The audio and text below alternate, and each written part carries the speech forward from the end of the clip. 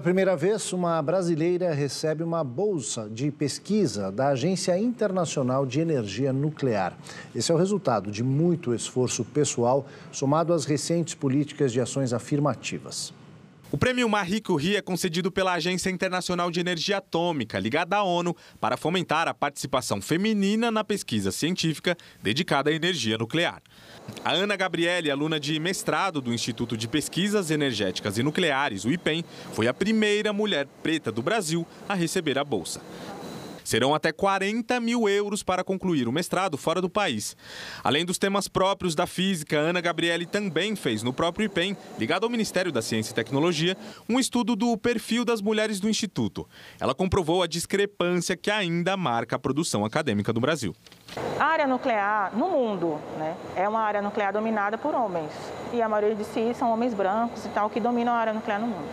Então, quando eu chego aqui no IPEM, eu percebo que aqui no IPEM tem poucas pessoas negras ocupando cargos aqui e também funcionários. Né? A gente teve mais de 100 mulheres que responderam esse questionário e a gente conseguiu obter informações muito importantes aqui para o Instituto. Entre corpo administrativo, pesquisadoras e bolsistas, mais de 80% das mulheres se declararam brancas. Já as negras nesse universo pesquisado não chegam a 10%.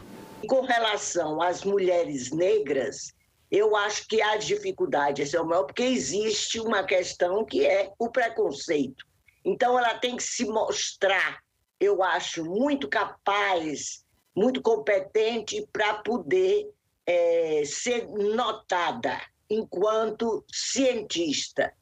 Esse aqui é o reator nuclear do IPEM, um dos espaços de trabalho da Ana Gabriele. Aqui, ela realiza experimentos com irradiação de amostras, mas para chegar até aqui, ela trilhou um longo caminho que começa em Cajazeiras, periferia de Salvador. De lá, ela foi estudar física médica pela Universidade Federal do Sergipe. Depois, veio para a USP, inspirada por outras mulheres que ocuparam esses espaços. Hoje, ela reconhece o mérito que recebeu, mas lembra que sem várias políticas públicas de apoio às quais teve acesso, nada disso teria acontecido. Eu tive acesso à assistência estudantil, então isso já me ajudou muito.